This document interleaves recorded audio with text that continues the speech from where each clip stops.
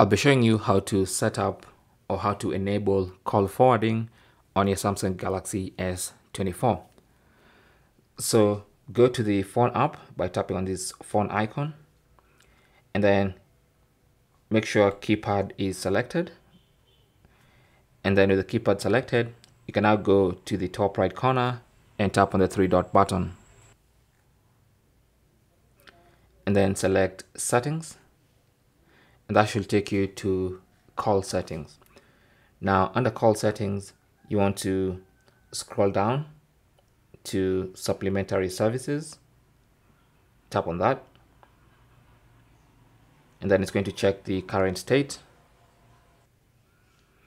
and then you'll see the current status of your SIM card. Now, if you have a dual SIM setup, like I do, I should see the information for SIM 1 and for my SIM 2. Okay, so I have SIM 1 and eSIM 1, which acts as my SIM 2. So let's work with SIM 1. So I want to set up call forwarding and I'll just go and tap on call forwarding.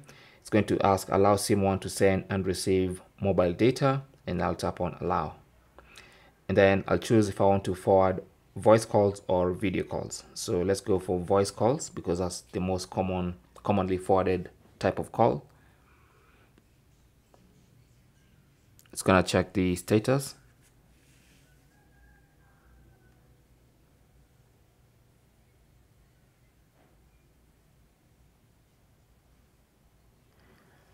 And then you'll see this page from where you can you can choose how you want to forward your calls.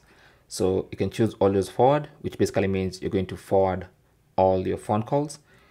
Forward when busy, this basically means when your phone is busy, then any incoming calls are going to be forwarded to the number you're going to choose.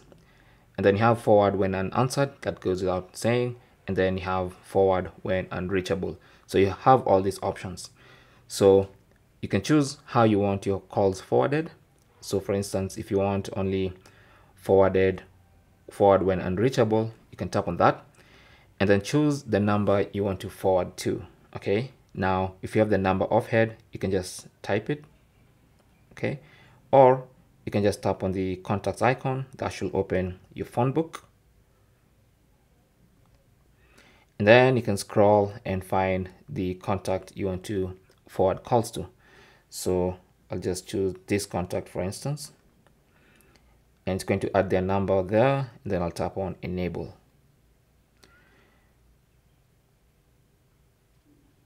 Then I'll let it do its thing. And when it's done you can see when unreachable my calls will be forwarded to that phone number okay so if I want to I can do the same for even when busy or I can choose to forward all my calls and that's basically how to set up or how to enable call forwarding on your Galaxy S24 Thanks for watching. Comments and questions down below and good luck.